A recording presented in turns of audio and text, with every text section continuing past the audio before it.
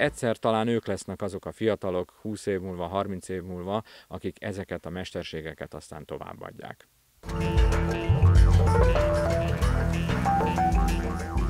alapvetően könyves ismereteket oktatok, de ez azért új perspektívát adott a dolognak, tehát a gyökereket, honnan jönnek az alapszabályok, miért is úgy vannak, azért ez sokba tágította, illetve itt a különböző kemencépítési technikák voltak, amik eddig teljesen újat mondtak nekem.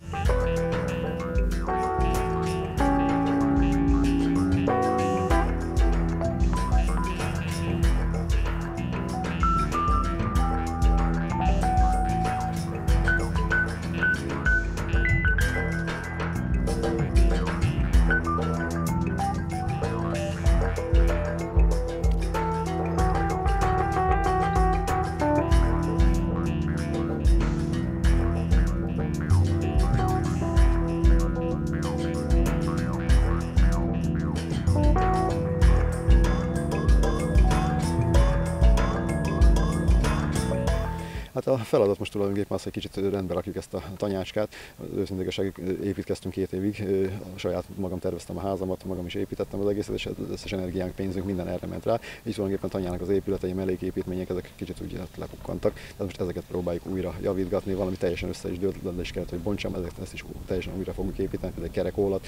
Itt az ország minden részéből található mindenféle építmény, tehát ahol most vagyunk szakajánlók, ez nem egy skanzen, hanem azokat a technikákat, technológiákat próbáltam összegyűjteni, mint ez parasztember száz évvel ezelőtt körülbelül használt.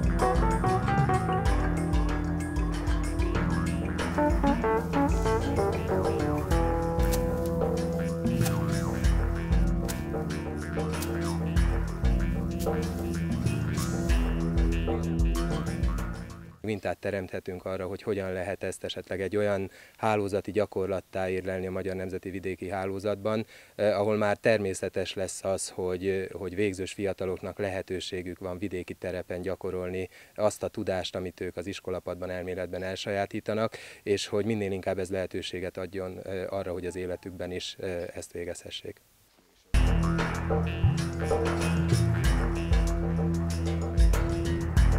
Thank you.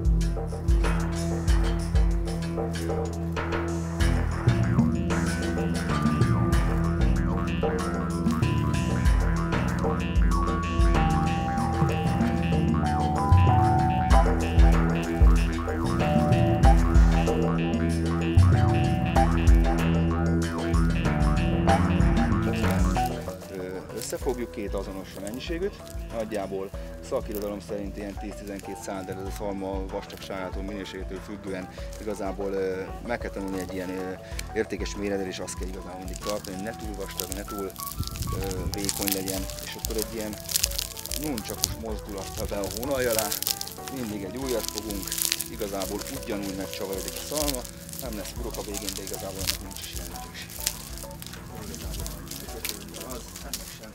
Hallottam olyat is, hogy száz évig ott volt egy tető. Hát azt akkor olyan szinten kell tudja karba tartani, hogy szinte évente, évente kimentek is öreg, és akkor Dugi szállta bele a lukakba, kicserélt egy-egy szakaszt, termelt a és akkor szakaszonként kicserélte, így elképzelhetően tartom, hogy nagyon hosszú távon, nagyon hosszú távon meg, meg tudott nekik lenni, maradni.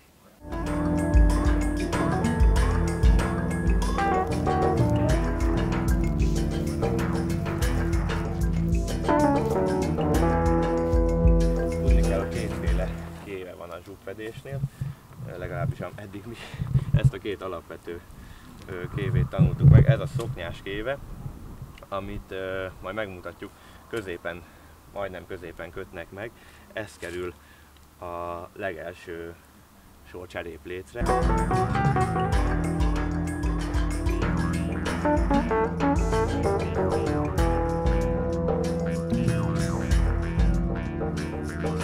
Dorosmai szélmalomnál vagyunk a helyieknek, ez egy, ez egy nagyon nagy büszkeségük. Egyike az ország működőképes szélmalmainak, amelyikből csak kettő van, és igazából bemutatható képes állapotban is összesen nincs egy tucat sem az ország mai területén. Ennek a, ennek a malomnak az éves karbantartásában veszek részt, olajozzuk a, a, a dolgokat, meghúzzuk a csavarokat, cseréljük az ékeket, vagy újra verjük őket, hogyha esetleg szükséges, letakarítjuk a zsindeit és újra kezeljük, illetve illetve a külső megjelenésén is csiszolgatunk az épületnek, újra fogjuk meszelni, hogyha, hogyha eljutunk odáig.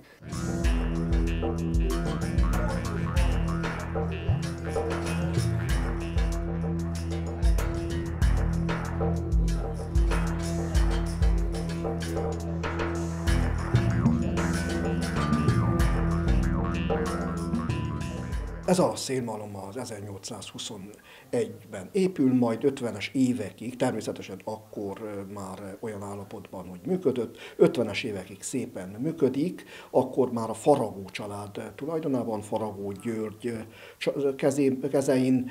Ebben az időszakban már csak darál, és a 60-as, 70-es évek az az időszak, amikor már az idős gazdával együtt úgy pusztulni kezd a malom, nem volt már hozzávaló ereje a föntartáshoz. Ez az az időszak, amikor műemlékén nyilvánítják.